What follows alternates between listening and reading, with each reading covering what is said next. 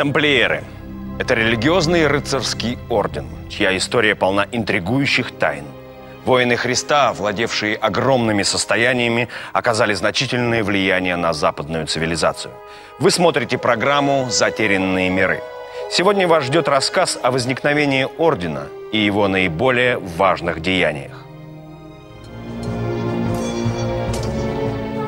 Девять веков тому назад мусульмане, воевавшие в Святой Земле с крестоносцами, встретились с новой устрашающей силой.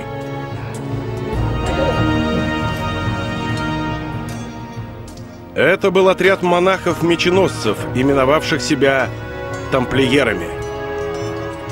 Какие цели преследовали эти загадочные воины креста? Их безрассудная отвага вселяла страх в сердца врагов. Их сказочные сокровища превышали богатство королей. Их таинственные церемонии порождали слухи о чудовищных богохульствах. Тамплиеров обвиняли в отрицании Христа, оскорблении распятия, в поощрении гомосексуализма и служении идолам.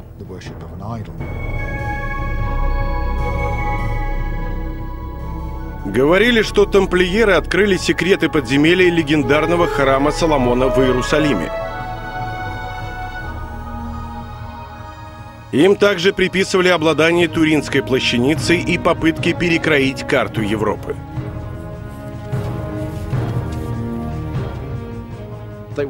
Они были невероятно могущественны, богаты и высокомерны. Вполне вероятно, что им хотелось основать собственное государство. Мы попробуем отыскать ответы на эти интригующие вопросы и заглянем в те далекие времена, когда самыми отважными и загадочными из рыцарей были тамплиеры.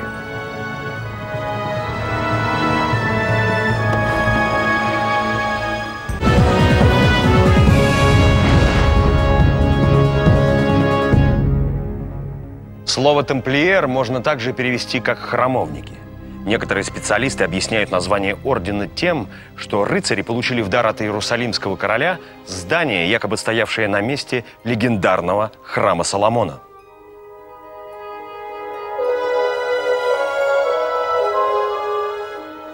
Святая земля – почитаемое место для христиан, мусульман, иудеев –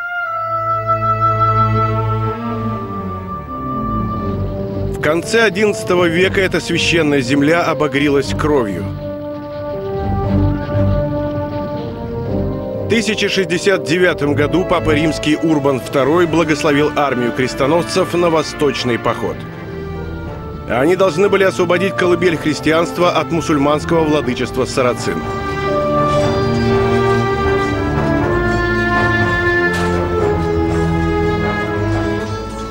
Очевидцы рассказывали, что когда победившие рыцари направились для молитвы к освобожденному гробу Господню, они шли по щиколотку в крови.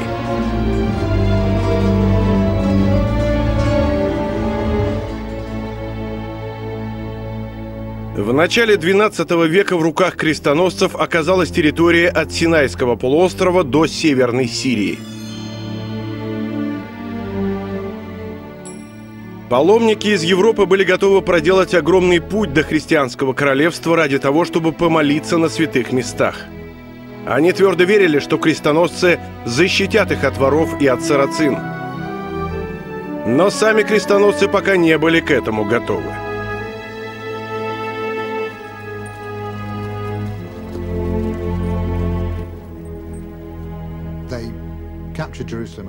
Крестоносцы завоевали Иерусалим и святые места в окрестностях города.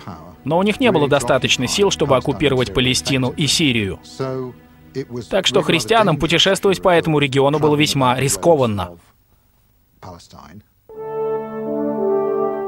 1118 году перед королем Иерусалима Балдуином II предстали несколько рыцарей, возглавляемых французским аристократом по имени Гуга де Пейн. Именно эти девять мужчин основали одну из самых могущественных и загадочных организаций в истории, чьи тайны занимают нас до сих пор.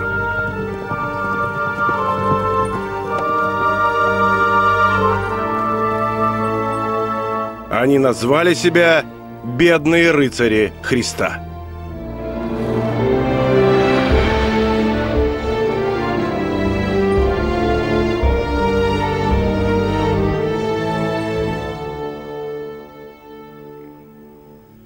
Несколько благородных мужей высокого происхождения посвятили себя Христу и принесли обет безбрачия, послушания и скромности.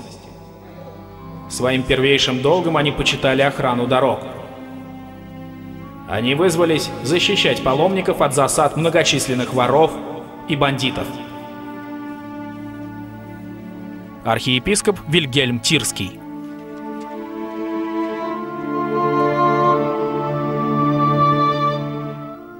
Иерусалимский король Балдуин предложил бедным рыцарям необычное место проживания – неиспользуемое крыло его дворца на Храмовой горе.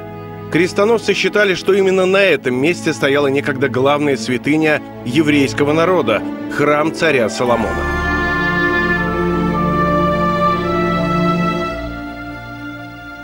Вскоре бедных рыцарей Христа стали называть также рыцари храма Соломона в Иерусалиме – сокращенно рыцари храма, храмовники или тамплиеры от латинского «темпле» – храм.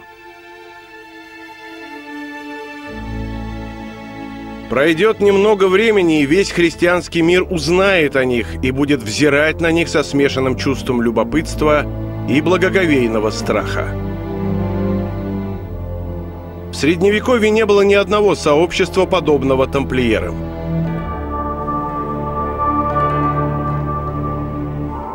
Гуга де Пейн и его последователи, подобно монахам, давали клятву жить в бедности, безбрачии и послушании. Они вставали до рассвета, читали молитвы и молча вкушали простую пищу.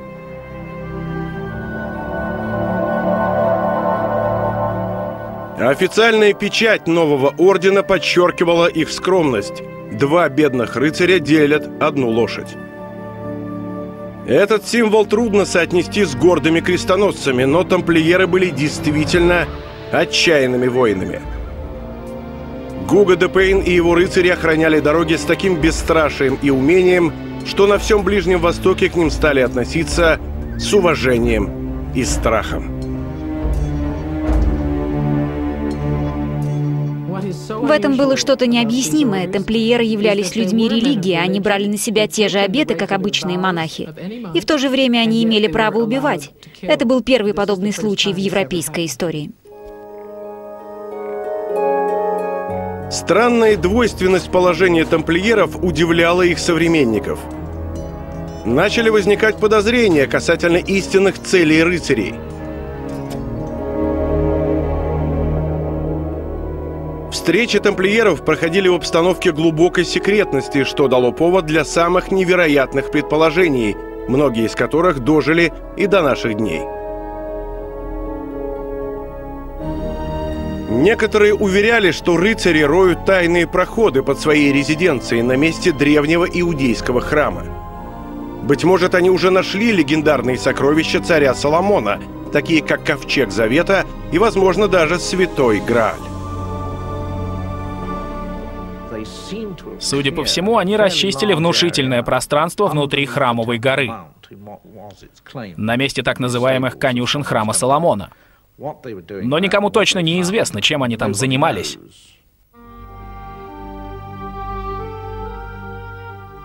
Существует предположение, что тамплиеры вели раскопки под бывшим храмом, но там не было найдено никаких следов их деятельности. К тому же это было священное место. Я сомневаюсь, что они решились бы там что-то раскапывать.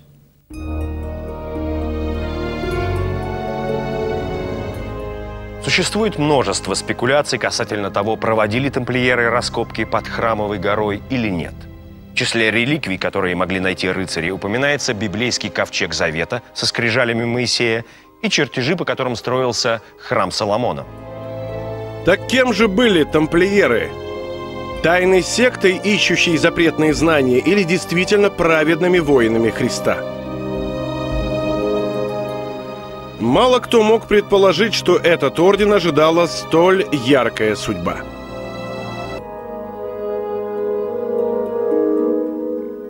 Первые восемь лет своего существования молодой орден рыцарей храма испытывал постоянную нужду в деньгах и с трудом набирал новых членов. Само его существование оказалось под вопросом. Но в 1126 году все изменилось.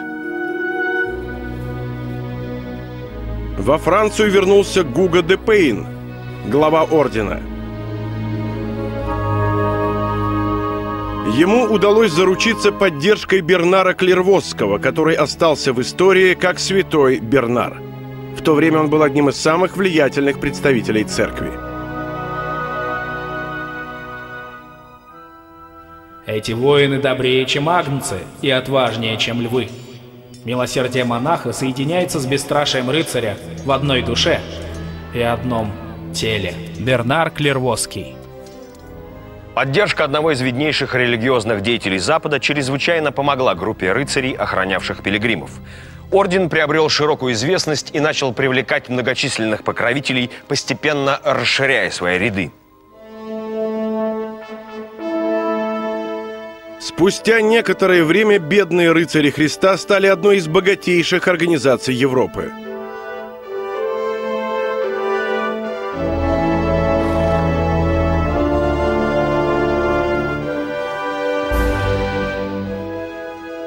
В 1130 году Гуго де Пейн вернулся в Святую Землю с новыми рекрутами, и воинство тамплиеров яростно обрушилось на врагов.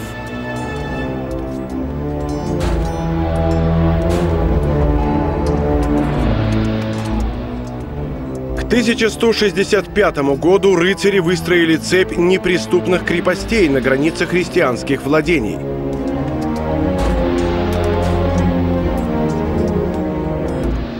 Их неудержимая отвага и железная дисциплина на поле брани изумляла сарацин. Тамплиеры не отступали до тех пор, пока врагов не оказывалось втрое больше.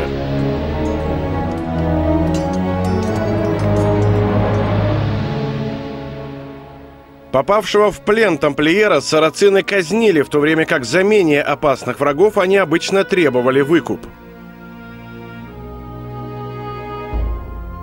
Крестовые походы унесли жизни около 20 тысяч рыцарей. И тем не менее тамплиеры и сарацины явно испытывали взаимное уважение.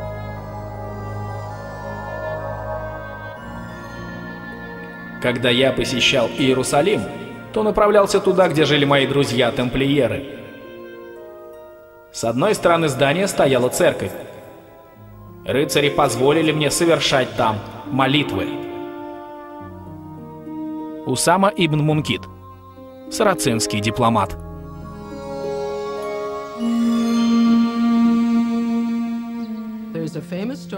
Есть знаменитая история о том, как мусульманин молился в церкви тамплиеров.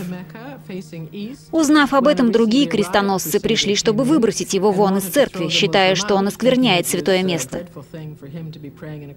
Однако тамплиеры встали на защиту гостя, объявив его своим другом. Надо полагать, они действительно находились в хороших отношениях с мусульманами Святой Земли. Любопытно, насколько тесны были связи рыцарей с сарацинами. Они общались не одно столетие – по традиции, именно тамплиеры возглавляли шествие христианских послов к мусульманским дворам. Многие из рыцарей хорошо знали арабский язык. Вероятно, им были известны члены секты фанатичных убийц, принимавших наркотики, которых называли хашишины, откуда в европейские языки вошло слово «эссасин» — наемный убийца. Это неопровержимый факт. Тамплиеры близко познакомились с исламской и иудейской культурами и впитали в себя часть их знаний. Говорят, что именно они привезли в Европу шахматы.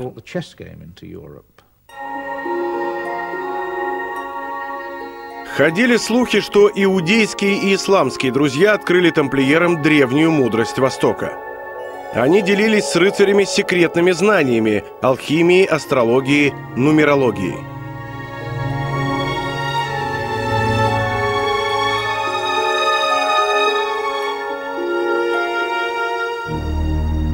Но, возможно, тамплиеры проникли еще дальше и узнали о каких-то запретных ритуалах.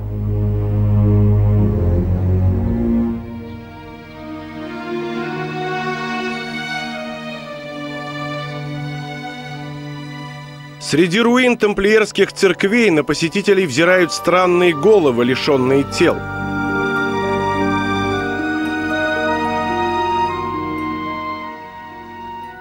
Еще в средние века родилась легенда о том, что во время своих тайных религиозных церемоний тамплиеры поклонялись некой голове.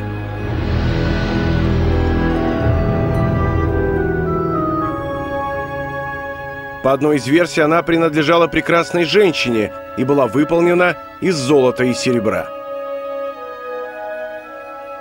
По другой, это была голова бородатого мужчины с запавшими глазами и рогами на лбу. Третьи уверяют, что у головы было три лица, и она была сделана из человеческих мумий.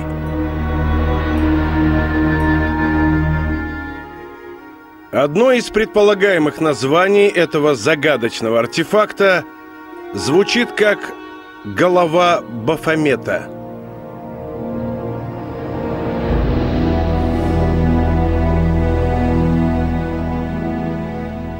Вспомнив о тесных контактах тамплиеров и мусульман, некоторые исследователи провели параллель между словами «Бафомет» и «Мухаммед» и готовы были поверить, что тамплиеры обратились в ислам. Однако ислам строго запрещает поклонение каким-либо скульптурным или живописным изображениям. В 80-х годах исследователь Библии доктор Хью Шонфилд выдвинул удивительную новую теорию. Речь шла об открытии древнего шифра, названного «Адбаш», который был основан на еврейском алфавите.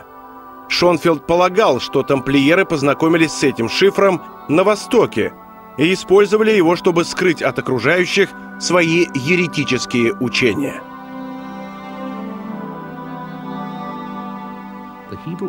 В еврейском алфавите 22 буквы. Если написать их рядом двумя столбиками по 11 букв, то получается несложный код. Надо всего лишь заменять каждую букву на соседнюю. Теперь, если написать слово «бафомет» еврейскими буквами, а затем поменять их согласно шифру «Атбаш», у вас получится слово «София». Оно обозначает мудрость, женское олицетворение мудрости. Тамплиеры уделяли большое внимание защите информации и в своей экономической деятельности. Их финансовые документы было практически невозможно подделать, поскольку они составлялись с помощью сложного шифра, известного только избранным членам Ордена. Могли ли тамплиеры тайно поклоняться запрещенному образу богини мудрости – На заре христианства Софию почитала мистическая секта гностиков или тех, кто знает.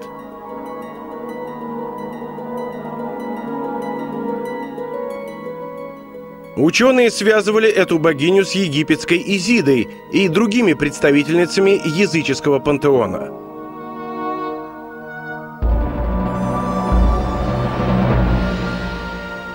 В IV веке церковь объявила гностиков еретиками, но их учение продолжало жить на Востоке, где с ним и познакомились тамплиеры.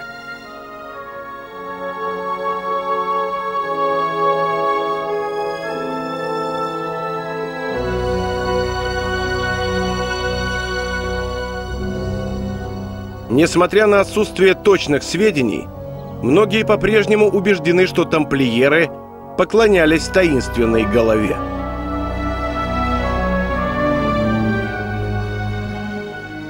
Возможно, этот ритуал был связан с одной из самых странных загадок истории.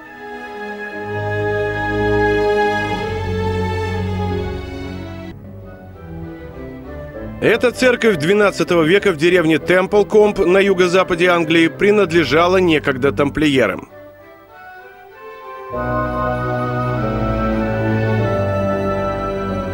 Для тех, кого занимают тайны Ордена, эта скромная деревушка имеет огромное значение. На стене находится странное изображение. Лицо мужчины. Археологи датируют эту роспись концом 13 века. Ее называют головой из Темпл-Комба. Некоторые исследователи утверждают, что этот артефакт является изображением знаменитой христианской святыни. На протяжении веков считалось, что Туринская плащаница служила погребальным полотном для тела Иисуса и сохранила его отпечаток. Средневековая легенда связывает Туринскую плащаницу с крестоносцами. Когда-то ее называли иначе – Манделеон. Манделеон, или нерукотворный образ, это кусок ткани, на котором якобы отпечатался лик Иисуса. По легенде, реликвия досталась Абгару Пятому из Месопотамии, который благодаря полотну исцелился от тяжелой болезни. Впоследствии царь немало поспособствовал укреплению христианства. По преданию, Манделеон достался византийской армии после взятия Эдессы – Византийцы привезли святыню в свою столицу – Константинополь. Манделеон оставался там вплоть до 1204 года, одного из самых печальных моментов средневековой истории. В этом году состоялся постыдный четвертый крестовый поход. Европейские рыцари, направлявшиеся в Святую Землю, решили вместо этого разорить великий христианский город Константинополь.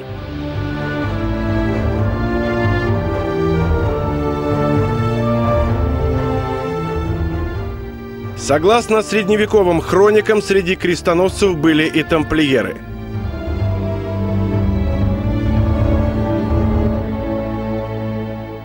В хаосе разбоя и грабежа Манделеон пропал. Но он не исчез бесследно.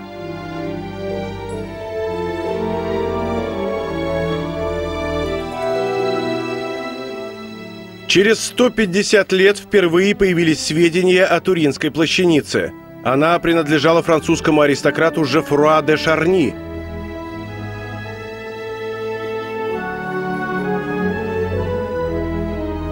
Его дядя занимал высокий пост в Ордене Тамплиеров –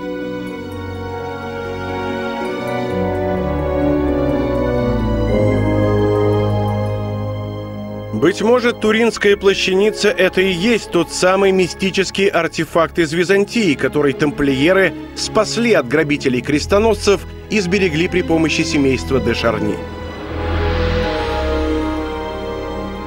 Может быть, в Темпл-Компской церкви изображен Манделеон? Обо всех этих загадках, связанных с крестоносцами, спорят и по сей день – и по сей день они остаются без ответа.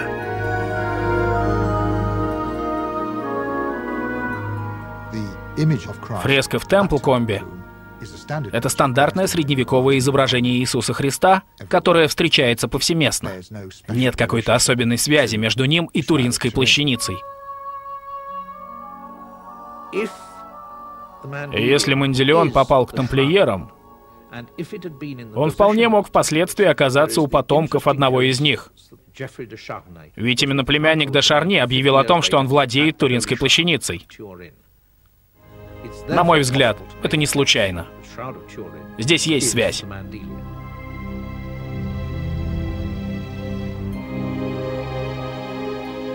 Связи между Орденом Тамплиеров и Туринской плащаницей посвящена масса научной и художественной литературы. Однако большинство версий остаются чисто спекулятивными, что еще раз подтверждает, рыцари надежно хранили свои секреты. К концу 13-го столетия тамплиеры находились на пике богатства и власти.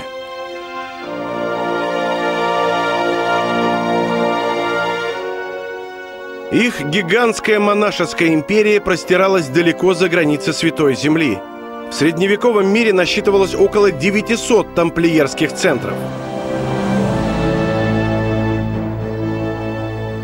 В распоряжении ордена находилась отлично обученная армия, всегда готовая к бою, а также сеть неприступных крепостей от Египта до Англии.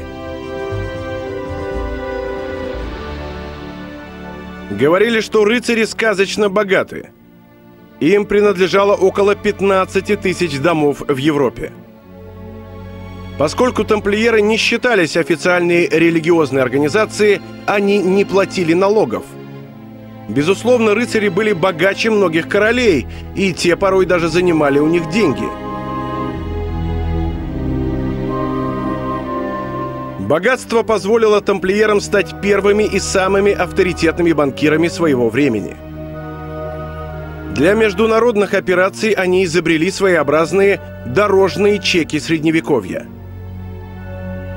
На деньги рыцарей велись войны – их средства обеспечивали роскошную жизнь королевских дворов. Новоприобретенная власть не лучшим образом сказалась на некогда строгой дисциплине ордена. Появилась даже поговорка «пить как тамплиер». Но могущество ордена никто не посмел бы подвергнуть сомнению –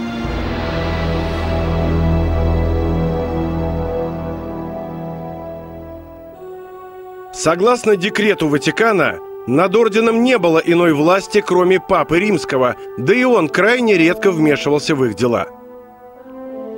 Ни один христианский король не был властен над тамплиерами. Однако судьба уже готовила ордену тяжелейшие испытания –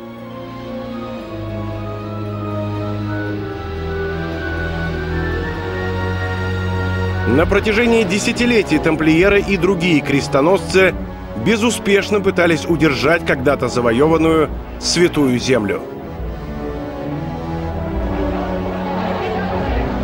Но сарацинам под предводительством талантливого военачальника Саладина постепенно удалось вытеснить христиан из Иерусалима и отбросить их на побережье.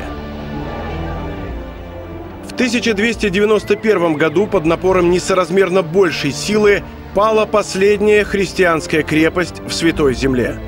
Осажденные тамплиеры отказались сдаваться и бились насмерть.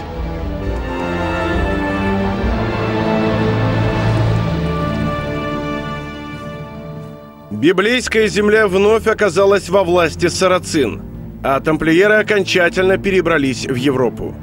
Местные правители отнеслись к ним настороженно.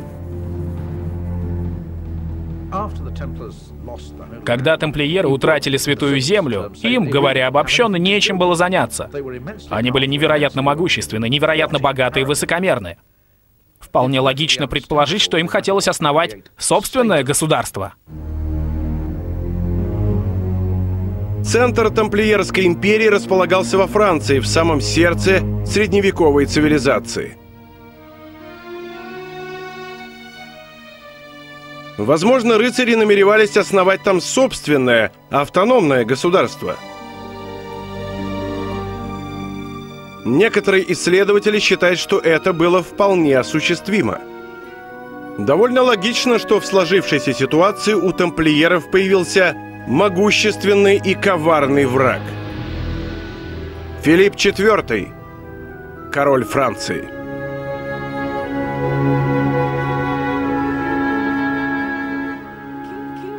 Некоторые описывали Филиппа как человека благородной наружности и хороших манер. А по мнению других, он был похож на сыча. Сидел на заседаниях Королевского совета, глядел на всех из-под лобья и не произносил ни слова.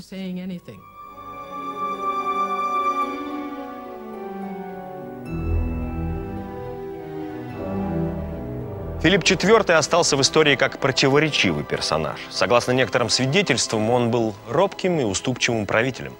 Но если судить по его деяниям, этот человек четко понимал, чего хочет, и добивался цели самыми жестокими средствами. Филиппа беспокоило неограниченное могущество ордена. Кроме того, он нуждался в деньгах для своих войн и политических кампаний –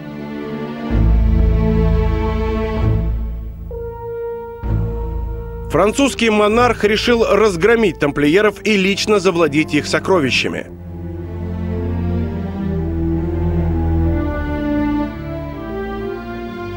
Но даже он не мог открыто напасть на самый знаменитый орден католической церкви без поддержки Рима. Поэтому перед тем, как нанести решающий удар, Филиппу необходимо было заручиться помощью Папы Римского –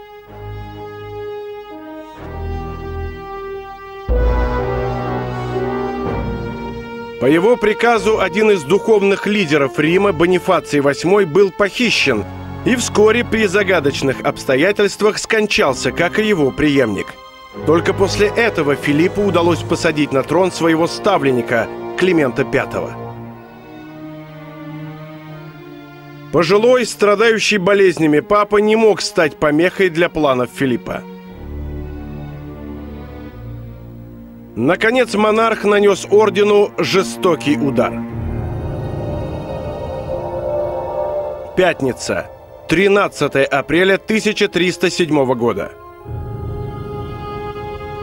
Незадолго до рассвета королевские солдаты вошли в дом каждого тамплиера в центре Франции – Это была точно продуманная операция. Все французские члены ордена были схвачены, а их имущество конфисковано в пользу короны. Ничего подобного в средневековой Европе еще не случалось. По словам одного известного историка, это было сделано в манере современного диктаторского государства. Жестоко, эффективно и несправедливо.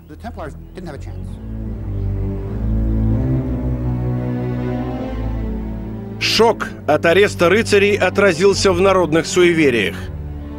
По одной из версий, именно это событие принесло пятнице 13 числу сомнительную славу несчастливого дня.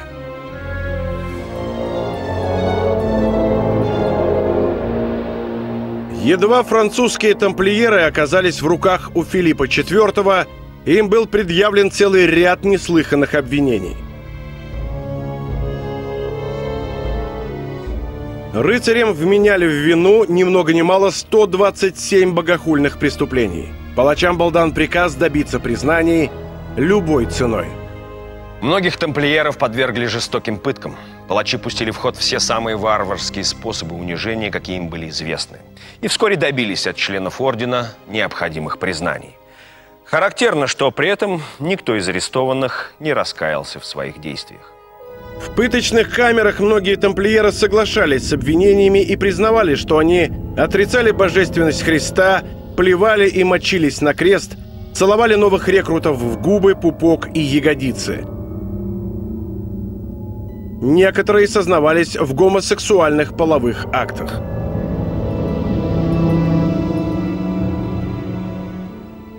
Значит ли это, что обвинения против тамплиеров были правдивыми?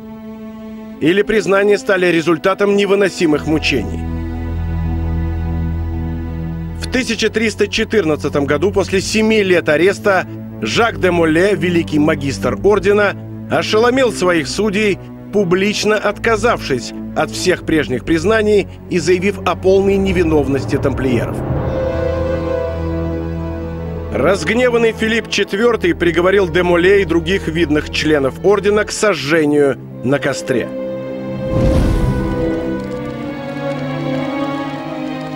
По легенде, когда великого магистра охватило пламя, он выкрикнул свое последнее проклятие королю и папе. Демоле предрек, что до конца года Господь призовет на свой праведный суд Климента и Филиппа.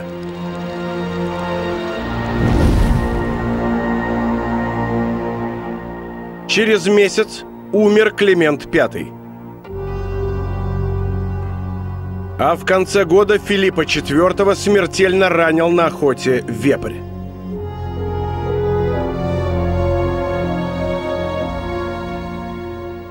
Несмотря на разгром ордена, Филиппу так и не достались бесчисленные сокровища тамплиеров.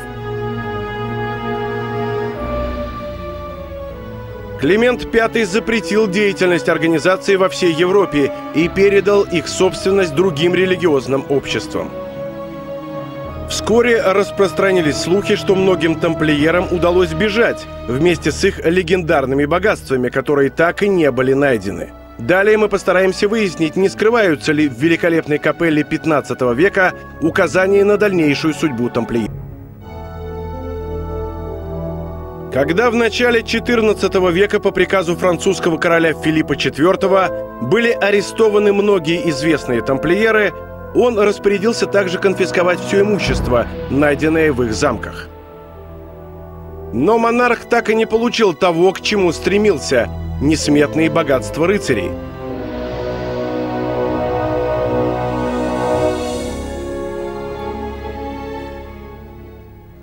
Согласно легенде, в ночь перед роковым арестом Францию покинула боевая флотилия тамплиеров.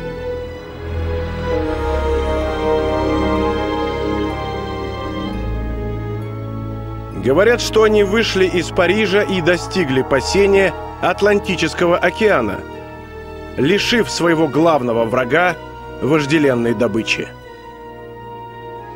Вывоз сокровищ на кораблях представлялся вполне логичным выходом из ситуации, в которой оказались рыцари. Существует несколько версий относительно того, куда могла направиться флотилия. Исследователи называют Португалию, Шотландию, Балтику и даже Новый Свет. Этот уникальный архитектурный объект подтверждает легенды о бегстве тамплиеров –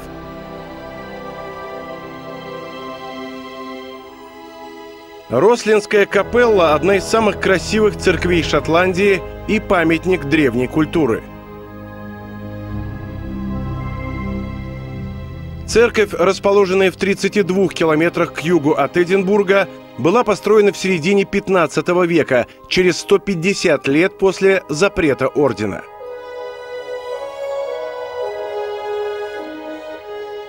В причудливом интерьере капелла, покрытом искусными росписями, встречаются странные символы, понять которые, как считают многие, могут только тамплиеры.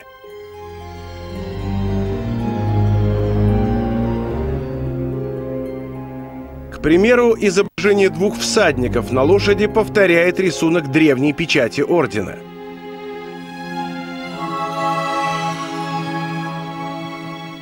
А вот еще один близкий рыцарям символ – человеческая голова – Кому она принадлежит, можно только догадываться. Таинственная роспись Рослинской капеллы для многих является полновесным доказательством того, что, невзирая на распуск ордена, некоторые тамплиеры нашли прибежище в Шотландии.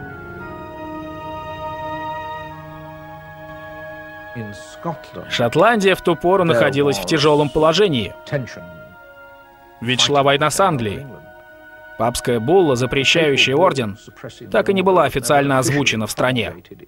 Так что можно предположить, что тамплиеры в Шотландии не считались изгоями.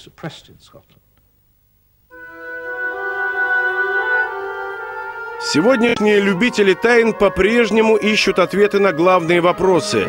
Куда сбежали рыцари и как им удалось спрятать свои легендарные сокровища?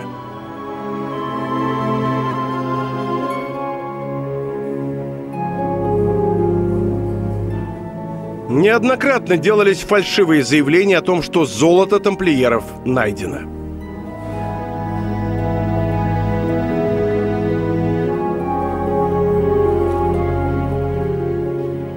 Также по всему миру действуют благотворительные организации наподобие шотландской Милити Темпли Скотия.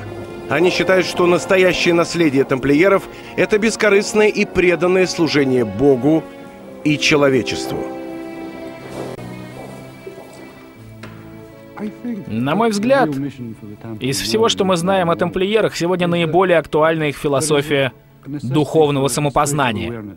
Она практически исчезла из нашей жизни в результате наступления рационализма и общего упадка изначальной веры.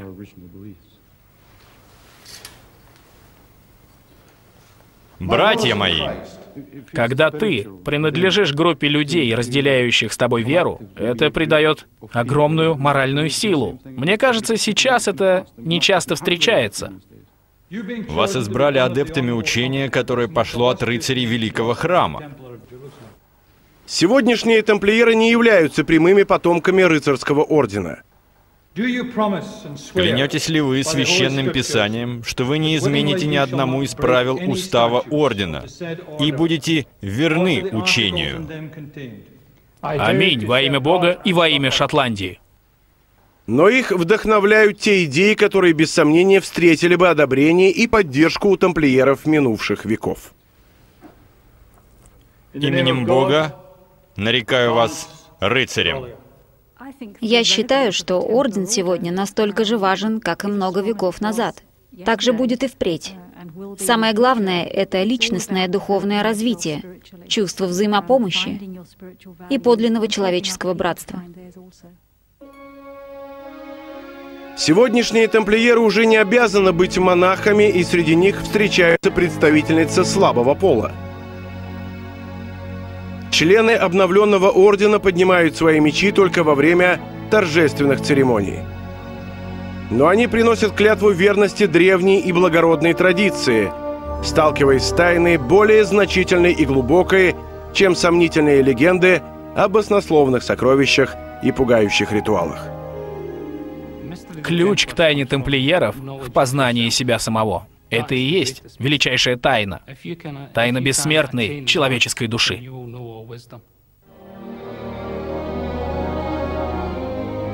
Их можно считать доблестными воинами Христа, которых впоследствии обвинили в немыслимых грехах.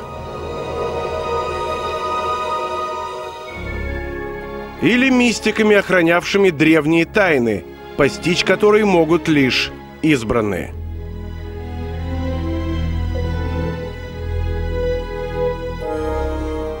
Очевидно одно – тамплиеры оставили яркий и незабываемый след в мировой истории. Основные тайны рыцарей-темплиеров так и остались нераскрытыми. И все же судьба загадочного ордена продолжает волновать умы людей и подталкивает их к изучению культурного и религиозного наследия ушедших веков. Вы смотрели программу «Затерянные миры». До новых встреч в прошлом!